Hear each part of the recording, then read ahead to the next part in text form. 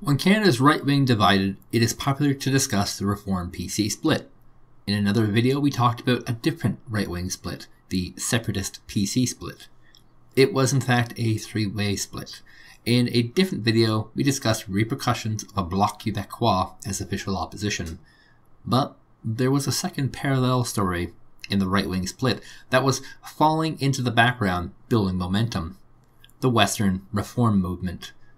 Preston Manning became a celebrity in the world due to his father, Ernest, who was the Premier of Alberta and leader of the Social Credit Movement for a quarter of a century. Preston Manning became very critical of the PC party, feeling that it was selling out to Quebec interests and giving up on the West.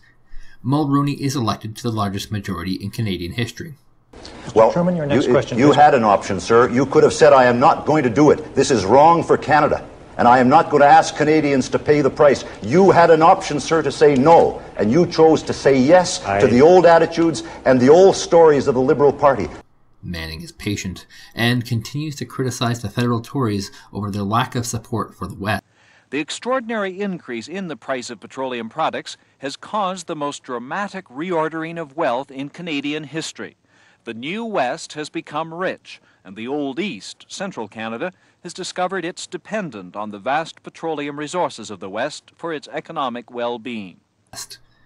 When Charlottetown Accord comes by, Manning shines. He proclaims the Charlottetown Accord is a complete and utter betrayal of Canadian values and sells out to Quebec. Manning files for the Reform Party in 1987 and begins campaigning well in advance of the federal election.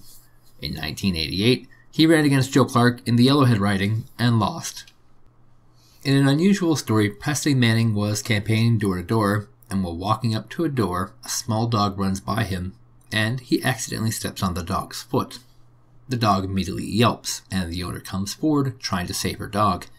Manning looks at the woman and tells her, Good evening. I am running for Parliament, and my name is Joe Clark. She reports this to the PC party, describing Preston Manning to them, and deep personal divides continue between the leader of the Reform Party and the former and future leader of the PC party. After the failure to get a single MP elected in 88, Preston Manning took elocution lessons to get rid of his Albertan accent dental work to clean up his shoddy teeth, and a permanent hairstylist on staff to keep him looking good. The next part of branding was putting forward unique conservative values. He wants to make the party that is different and what he calls conservative. The Reform Party initially refuses to take corporate and union donations and will only take individual donations. Manning keeps in contact with donors and members through cassette tapes, which are delivered and tell a message on what people can do to help and how they would help. If the Reform Party existed today, they would be updating their members via YouTube. If you have a piece of paper and a pencil handy, there's a number of things we're going to talk about that you may want to jot down, but if you're listening to this in your car, don't take your hands off the wheel just to do that. It was a grassroots organization that sought to usurp the corrupt PC and Liberal parties purely through the people. Manning had a lot of planks that became problems that are still deeply enshrined as election issues for all parties. At the time, though, he was the first. Manning sought to reform the Senate, choosing what is called the Triple E Senate style. This style of Senate would allow for provinces to elect their senators, at which point they would be appointed by the Governor General. To date, we still have parties calling for electoral reform in the Senate, with none really being able to do anything about it. But one of the things we agree on is that it is 2015, mm-hmm. Rosemary, and it's t- high time we got rid of this unelected, unaccountable okay. Senate. That would do anything to further entrench that unelected, unaccountable Senate. For the past two and a half years, since the Supreme Court decision and prior, I have not made any appointments to the Senate. There are now 22 vacancies in the Senate. Another major plank of the party that survives in the United Right is the hatred of crown corporations. The Reform Party called for the privatization of CBC, Canada Post, and Petro-Canada. Today, Petro-Canada is a private entity owned by Suncor. On Aboriginals, the Reform Party believed in dismantling the Indian Act and the Department of Indian Affairs and simply transferring these over to local Aboriginal boards. First Nations people in Canada have been living under the auspices of the Indian Act for more than 130 years. This outdated, paternalistic, and colonial piece of legislation is what gives Indian Affairs and First Nations chiefs and band councils the power and control over First Nations peoples. Manning would be seen as a revolutionary and believed himself to be at war of values against the PCs and the Liberal Party. In his 1992 book, The New Canada, he challenged the very notion that Canada is a bilingual country. He saw that Canada was not, in fact, formed by two races, English and French, but instead a country of many races English, French, Chinese, Indian, Ukrainian, Russians, Germans, Irish, Scottish, and Africans. His vision wasn't a multicultural united country, but one divided in which the federal government interfered as little as possible. In his New Canada, he sought to give the provinces all the power, but not give any special privileges to any particular citizens. Everyone would stand in a multicultural society on their own. He described the old Canada as a house divided against itself. He called a New Canada as a place that needs a new deal for Aboriginals, but also must be a country that can exist without Quebec. Canada has to be open to people and not discriminate based on language, race, or gender. And to that extent, he would have to be open to a new Quebec, in line with what he calls real Canadian values. Manning saw his first opportunity at gold when a PC MP died and their seat opened up in Edmonton. In 1989, the Reform Party had their first MP, Deborah Grey. Mr. Speaker, yesterday the Prime Minister told me in question period that distinct society was something that he has subscribed to all along. Well, how soon he forgets, Mr. Speaker, because the Prime Minister certainly didn't believe in distinct society strongly enough to support the Meech Lake Accord when he was running for the Liberal leadership in 1990. Even John Turner recently has been surprised at the Prime Minister's conversion to the idea of distinct society in the Constitution. So my question is this, Mr. Speaker, it's very simple. Why the flip-flop?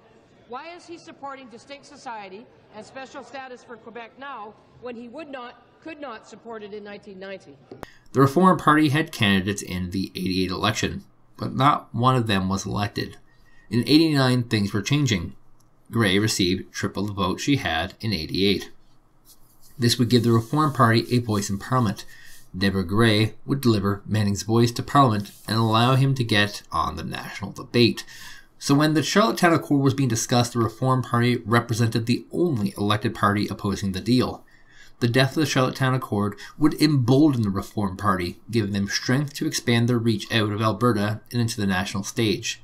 By the 1993 federal election, they are successful in attracting candidates from BC, the Prairies, Manitoba, and some in Ontario. The election results were indicative of many of the problems Manning had felt there was with Canada. Here was a party that attracted 2.5 million voters and received less seats than the Bloc, who only had 1.8 million voters. The first major breakthrough was, however, only in Alberta and BC, with a few in Saskatchewan. The Reform Party's presence could not be seen anywhere else in Canada, and it seemed that their little movement was stifled on the Manitoba border. Manning's big downfall in Ontario was the perceived racism associated with the party. As seen in their platform, there wasn't too much in the way of direct racism. However, racist people were attracted to the party. Years later, Manning said that he fought with veracity of his father to purge the party of all racists and bigots. His own father, Ernest Manning, had a similar problem with the social credit movement and anti Semitism. Ontario Reform MP hopeful John Beck had come out of and made remarks about fresh immigrants to the country. Beck, whose father owned a giant taxi company, would later be seen as neo Nazi rallies long after being ejected from the party. Every day was a new, hopefully saying something ridiculous, and every day Manning removing them from the party slate. They were driven in by the Reform Party's hatred of multicultural and bilingual programs, and Manning spent his first year in office trying to get rid of them. In these years, the ability of the Reform Party to speak was limited, in part due to the allegations of racism but also due to the fact that the Bloc was the official opposition and was directing things towards a referendum. Without being in the spotlight and not being a key issue, the future of the party would depend on whether or not the Bloc was successful in separation. They were not. Manning was in rebuilding mode, and that meant attracting a large cast of non white candidates to the party. Rahim Jaffer is the first Muslim member of parliament, a reformer.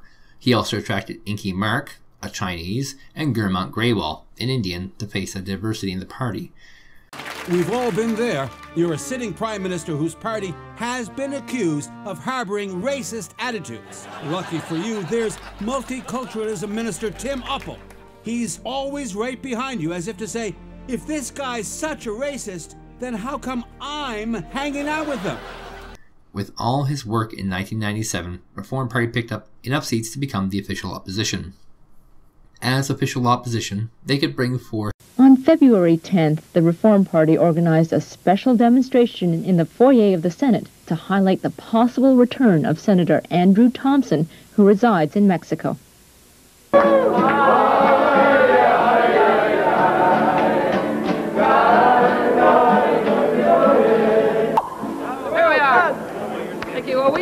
Make sure that Senator Andrew Thompson feels welcome. If he comes back today, you know that he is to uh, show up in the Senate so that he will get his pay. I think Canadians are sick and tired of people who do not work for their wages, and he ought to be here because it's a slap in the face to the Canadian public, anyone who will just think that it's a joke that he's able to collect his pay without working for those wages.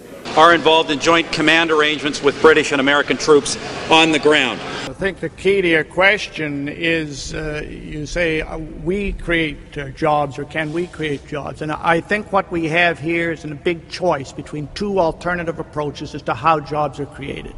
The conventional thinking in Ottawa, it's been espoused by the three traditional parties for a long time, is that big governments can create jobs that they take money from taxpayers, they take it to Ottawa, they take an administrative bite out of it, and they spend it on so called job creation. The, what that's done is give us 1.4 million unemployed, underemployed, many people concerned about jobs. However, the Reform Party was still incapable of scoring any seats in Ontario. In this election, they even fielded candidates in Atlantic Canada and Quebec. Not a single MP the Manitoba Ontario border was set as a permanent dividing line between Canada's right and Canada's left. In 1998, former MP Stevie Harper and political scientist Tom Flanagan penned an influential paper that called for a united right. The paper set up principles that both the PCs and Reform Party shared, visions and frameworks in which the grassroots and provincial identity could be used in founding a party. The PC Party rejected this notion in 1998 when they elected Joe Clark as their leader. Joe Clark, in fact, left his very safe riding in Atlantic Canada to try and reclaim an old PC stronghold in Ontario. The PCs had presence in Ontario and Atlantic Canada. The Reform had presence in Western Canada. A united right, many people felt, would be a new governing party. The Reform, however, were just too extreme for most of Canada. A particular ad, attack ad came out attacking Quebec leaders and separatists. The key thing in a negative ad is you've got to have an element which that has resonance. You've got to say, does this have a whole lot of resonance? That people are already thinking in some way. Absolutely. You you don't make it up. you you you create you you are responding to what is already a pre-existing impression that you think people have. Manning was attempting to unite the right and felt he had to do this at a regional level as well. He made a political alliance with the Alberta PC Party, the Saskatchewan Party, and the Manitoba PCs, as well as the BC Liberals, who, despite their name, are very right wing. Despite this, however, Manning began holding United Alternative conventions, which were splitting Reform Party apart. Manning invited the PCs to this convention, who are arriving but not committed. If you take the popular vote of both parties in the 1997 election, what you get is a different party in charge. And so, after a lot of debate, the Reform Party formally dissolved in 2000 to become the Canadian Alliance. A few PC MPs and supporters would join the new party, but that is a story for another time.